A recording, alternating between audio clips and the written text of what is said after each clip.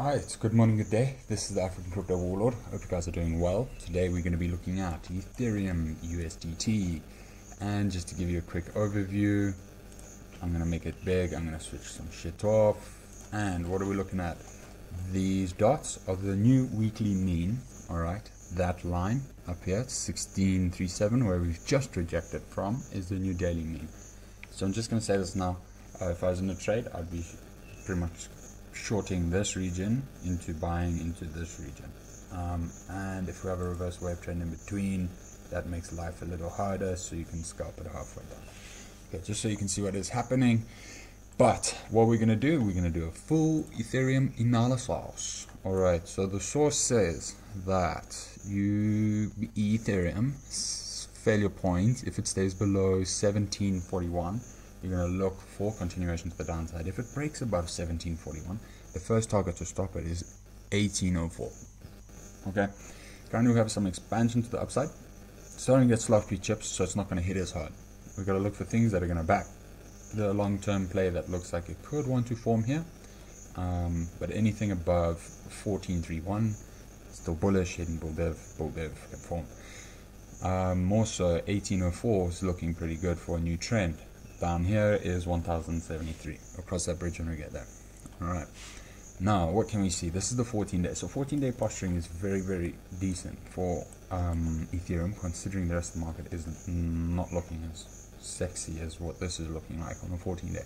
General idea is to to have the long-term trend kick up. BTC Ethereum just needs to close above uh, ultimate power mean at 1587 furthermore 1538 so not to be zealous, but it needs to keep up at 1538. If it can do that under negative drift, which is starting to kick in now, which is stopping it from pumping, if it can do that, you can look for some good continuation. If it fails 1538, just look for a quick target at 1340. Alright, somewhere or even halfway, we'll see how strong it is on the dumperoo. Now, let me switch those off. What can we see here? This is the seven day. A little bit of confusion is coming through the book. So we're going to have to throw on some other indicators. And that guy, and your general idea being is, as, uh, so on 7 day, as Ethereum starts to close below 1662, look for a target at 1583, fails here, huge liquidity in this region. What I will do is make a big ass motherfucking oval. Alright? Because that will be tested. Maybe not today. Mm, but we'll have a looky see. That is a point of huge liquidity at 1372. Alright, mean reversion to the downside, looking for a trend. Currently it's sideways. Alright, and we just started that, I think. Alright, so now we're on the 5 day. So what can we see by a 5 day? 5 day is the same thing as Bitcoin. Alright, now if it holds, I mean, and yeah, and uh, only Bitcoin. If it holds above the 5 day mean, you can look for continuation to 20 for two, to $2,447. If you look for mean reversion play to the downside, you're looking at $11.55. Alright, that's the three day expansion. Um, I mean, increasing, positively correlated, whilst contracting volatility tells me there's negative drift. This is the same thing that we saw in the three day with regards to BTC. It's being hung up below the orange line. Your mean reversion play that does look like it's wanting to build some steam here just got slapped by a bear, bear div. Alright, and that's just because PC broke into, say, engaged negative drift. What are we going to look for? Seeing as the 14 day has got some good posturing, we need to look for things that are going to keep it above this 14 day target, which is over here. We'll say this cross, 1532.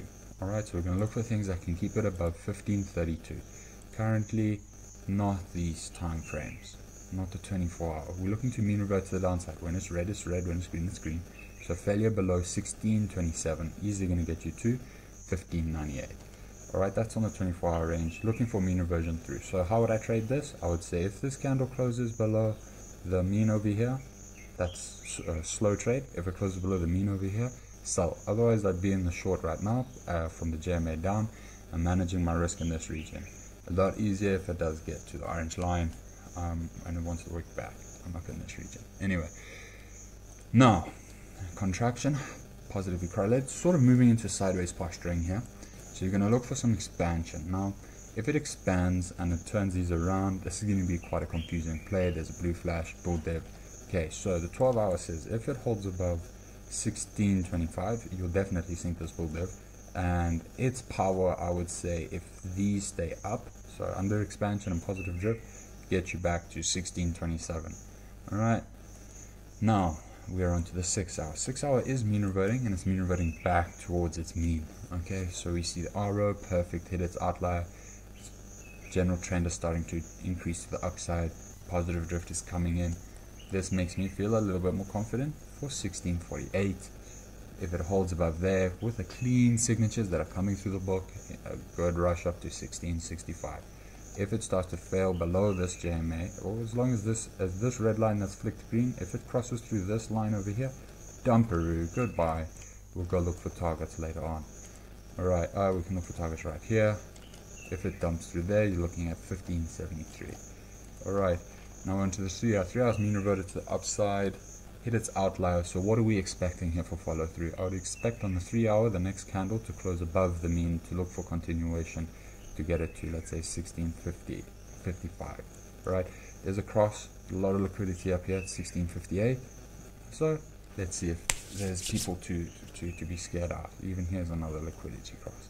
Alright, so mean reversion play on the 90 minute is confirming through got nailed by negative drift so that's what faded it as soon as it got to the other side of the reverse wave trend this is not so healthy I think a little I think about fuck six hours 12 hours worth of resolution in this range maybe. Um, if it is bullish if not we'll know quite shortly if the bears can can damperoo it. So this is the 45 minute um, also again a lot of sideways we've just come into our daily mean. If I was to say the key points to be watching for is this range from 1642 all right down to 1624 now if we're to go up it's a 1% move all right well done trading ethereum now.